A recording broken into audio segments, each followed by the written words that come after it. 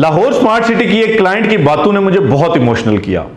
گزشتہ دنوں میں لاہور سمارٹ سٹی کی ایک کلائنٹ کی کال آئی، وہ ایک خاتون تھی انہوں نے بتایا کہ جی انہوں نے آج سے اڑائی سال پہلے لاہور سمارٹ سٹی میں سات مرلہ فائل اٹھائیس لاکھ بیس ہزار والی ایگزیکٹو بلاک میں خریدی اور اس وقت انہوں نے اس پہ چھ لاکھ روپیہ پروفٹ بھی ادا کیا۔ انہوں نے بتایا کہ جی جس ڈیلر سے ہم نے یہ فائل لی تھی اس نے وقتی طور پہ ہمیں بہت سہانے خواب دکھائے کہ جتنے ٹائم میں اس کی جو پروفٹ آئے گی ڈبل ہو جائے گا، اس طرح سے آپ کو پوزیشن مل جائے گا اور ساری چیزیں جس طرح عام طور پہ ڈیلرز کرتے ہیں، انہوں نے ان کو مکمل مطمئن کیا۔ وہ خاتون بتاتی ہیں کہ جی ان کا کرائے کا گھر ہے گجرا والا میں اور وہ جو ہے وہ مطلب بڑے مشکل حالات میں انہوں نے جو ان کی زندگی کی جمع پونجی تھی، انہوں نے وہ ساری ادا کر کے تو لاہور سمارٹ سٹی میں ایک اچھے خواب کے ساتھ جو ہے وہ اپنی انویسٹمنٹ کی۔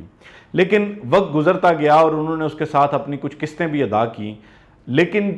جس ڈیلر سے انہوں نے یہ چیز لی تھی، یہ فائل لی تھی، اس کے ساتھ ان کا دوبارہ رابطہ نہ ہو سکا۔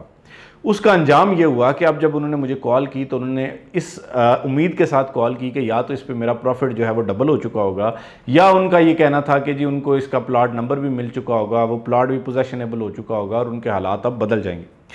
میں نے بدقسمتی سے ان کو جب یہ چیز بتائی کہ جی آپ کی فائل کا پروفٹ جو ہے وہ تقریباً نہ ہونے کے برابر ہے اس وقت، اس کا چونکہ پلاٹ نمبر نہیں لگا، اس کی بیلٹنگ نہیں ہوئی، تو اس وجہ سے اس کا فی الوقت جو ہے وہ کوئی فیوچر نہیں ہے۔ وہ چاہتی تھی کہ جی اگر اس کے حالات اچھے نہیں ہیں تو اس کو بیچ دیا جائے، لیکن جب میں نے انہیں بتایا کہ آپ کو اس میں کتنا نقصان ہوگا تو وہ بہت پریشان ہو گئی اور وہ یہ چاہتی تھی کہ میں ان کو کوئی تسلی دوں۔ اب یہ کہانی صرف ایک بندے کے ساتھ نہیں ہوئی، بلکہ انہوں نے مجھے جو وجہ بتائی کہ جی بعد میں جب انہوں نے رابطہ کرنے کی کوشش کی اس ڈیلر کے ساتھ اور ایک دفعہ ان کا رابطہ ہوا، تو اس نے بتایا کہ جی میں اب بہت سینئر ہو گیا ہوں، میری پروموشن ہو گئی ہے اور اب میں جو ہے وہ اسلام آباد ہوتا ہوں، اب میں کراچی ہوتا ہوں میں جو بھی وہ ہیلے بان ہے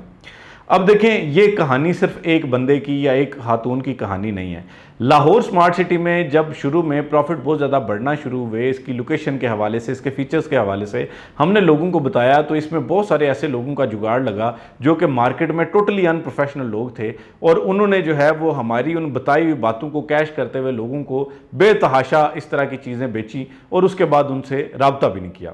اب مجھے جب اس خاتون نے اپنی اوورال پورے حالات بتانا شروع کیے کہ وہ ایک کرائے کے مکان میں رہتی ہیں، ان کا کوئی بھائی نہیں ہے اور ان کے والد صاحب ضعیف ہیں اور انہوں نے تو جو زندگی کی جمع پونجی کٹھی کی تھی وہ اٹھا کے لاہور سمارٹ سٹی میں انویسٹ کر دی۔ تو اس کے بعد جو ہے وہ اب ان کا کوئی فیوچر نہیں، اب اگر وہ فائل بیچتی بھی ہیں تو ان کو لاکھوں روپیہ اس میں نقصان ہے۔ اور ادروائز اگر ان کو اس ٹائم پہ کوئی بندہ صحیح معلومات دیتا یا ان کی رہنمائی کرتا تو شاید آج ان کی صورتحال یکسر مختلف ہوتی۔ بہرحال میرا آپ لوگوں سے یہ بات شیئر کرنے کا ایک خاص مقصد ہے۔ وہ مقصد یہ ہے کہ دیکھیں، ہم جب بھی لاہور سمارٹ سٹی کے حوالے سے یا کسی بھی پروجیکٹ کے حوالے سے بات کرتے ہیں، تو ہمارا الٹیمیٹلی مقصد یہ ہوتا ہے کہ سب لوگوں کے لیے ون ون سچویشن کنسیڈر ہو۔ سب لوگ جو ہے وہ اس سے فائدہ لیں۔ چاہے اگر مثال کے طور پہ کوئی پراپرٹی ڈیلر ہے، وہ اس سے فائدہ لے رہا ہے، تو اس کے ساتھ ساتھ اس کے کلائنٹ کو بھی فائدہ ہونا چاہیے۔ لیکن اپنے چھوٹے سے فائدے کے لیے جب پراپرٹی ڈیلرز جب لوگوں کی زندگیاں تباہ کرتے ہیں تو یقین کریں کہ بہت ہی دکھ ہوتا ہے، بہت ہی افسوس ہوتا ہے۔ اور ہمارے جو ریئل اسٹیٹ سیکٹر ہے، اس کے لیے یہ گالی بن جاتی ہے جب لوگ جو ہے وہ اس طرح کی باتیں کرتے ہیں۔ اب وہ خاتون جو ہے، جب مجھ سے بات کر رہی تھی، تو اس درمیان جو ہے وہ کوئی تقریباً تیس سیکنڈ کا وقفہ لے کے مجھ سے بات کرتی تھی، خاموشی ہو جاتی تھی دونوں سائڈوں سے۔ تو اس کا مقصد یہ تھا کہ وہ چاہ رہی تھی کہ کوئی تسلی دوں میں نے۔ میں بہرحال جو کر سکتا تھا، میں نے اپنے طور پہ جو ہے وہ ان کو کچھ تسلی بھی دی اور ان کی کچھ رہنمائی بھی کی۔ تو انہوں نے کہا کہ جی شاید کاش میں جو ہے وہ اس سے پہلے آپ سے رابطہ کر لیتی تو آپ اتنے بڑے نقصان سے بچا لیتے۔ بہرحال میرے بھائیوں ایک تو سب سے پہلی بات یہ ہے، جو لوگ ہمارے ساتھ، ہماری فیلڈ میں کام کرتے ہیں، دیکھیں آپ جو ہے وہ فائدہ ضرور لیں، فائدہ لینا آپ کا حق ہے، آپ کا بزنس ہے، آپ کا کاروبار ہے۔ لیکن ایک چیز یاد رکھیں کہ کبھی بھی کسی شخص کو بھی آپ جو ہے وہ ہرانے کے چکر میں نہ جائیں، بلکہ ہر کسی کو جتوانے کے چکر میں جائیں گے تو اللہ رب العزت کی ذات آپ کو بھی جتوا دے گی۔ اب میں اس بندے کا نام نہیں لینا چاہوں گا، کیونکہ اس طرح جو ہے وہ کسی کی بھی حتق عزت ہوتی ہے۔ لیکن میں آپ کو یہ بات بتاؤں کہ اس طرح کے بہت سارے کیسز میرے پاس آتے ہیں، اور جب میں ان کی باتیں سنتا ہوں تو مجھے ایک دفعہ تو خون کھولتا ہے، لیکن پھر ظاہری بات ہے کہ مطلب ہم لوگوں کا نام لیں گے، لوگوں کی عزتیں اچھالیں گے تو اس سے ایک پورا جو ہے نا وہ پراپگینڈا شروع ہو جائے گا۔ تو لہٰذا سب سے پہلی بات یہ ہے کہ جب بھی آپ جو کلائنٹس ہیں ان کے لیے بتا رہا ہوں کہ جب بھی آپ فائل لیں پلاٹ لیں، کچھ بھی لیں، کوئی بھی پروڈکٹ لیں، آپ کے سامنے ایسی کمپنیز بیٹھی ہوئی ہیں کہ جن سے آپ اگر کوئی چیز لیں گے تو وہ آپ کے لیے بھاگ دوڑ کر کے کام کریں گے اور وہ آپ کو مکمل سروسز دیں گے کیونکہ جو ریل اسٹیٹ میں یہ جو فائلوں کی مارکیٹ ہے، جو ایک ساتھ پہ آپ چیز لیتے ہیں، اس کا فارمولہ یہ ہے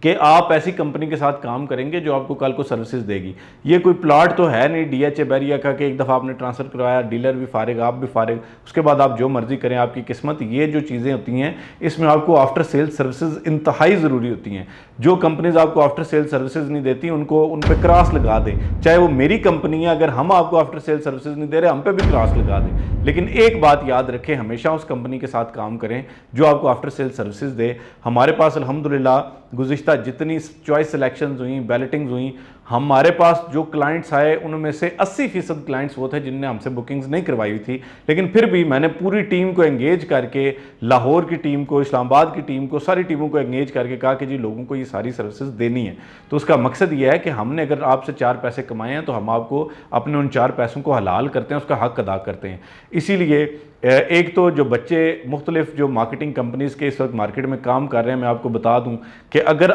اب جو ہے نا وہ حالات نہیں رہے کہ آپ ایک بندے کو کاٹیں گے اس سے کوئی چیز بیچیں گے اور اس کے بعد نکل جائیں گے۔ آپ ایک بندے سے کروڑوں روپے کا بزنس کر سکتے ہیں، اگر آپ اس کو اچھی سروسز دیں گے۔ یہ ہمارا پچھلے چار سال کا ایکسپیرینس ہے کہ آپ اگر لاہور سمارٹ سٹی کے حوالے سے لوگوں کو اچھی سروسز دیں، لوگ آپ سے پلاٹ نئے پلاٹ بھی خریدیں گے، آپ کو لاکھوں روپے کا فائدہ ہوگا۔ لیکن اگر آپ ایک دفعہ کسی کوئی چیز بیچ کے یا خرید کے، اس کے بعد آپ اس کو زندگی بھر بھول جائیں گے، تو وہ کبھی بھی آپ کو دوبارہ یاد نہیں کرے گا، بلکہ آپ پر ڈبل کراس لگا دے گا۔ تو اس لیے میں نے آج کی ویڈیو میں یہ آپ کو پیغام دینا مقصد تھا کہ جی ایک تو صاف ستھرا کام کریں، دوسرا آپ بھی ان لوگوں کے ساتھ کام کیا کریں جو آپ کو آفٹر سیل سروسز دیں، کیونکہ ان حالات میں جو ہے، وہ جو ابھی اتنی کمپیٹیو مارکیٹ ہے، اگر آپ اچھا کام نہیں کریں گے تو الٹیمیٹلی آپ کو نقصان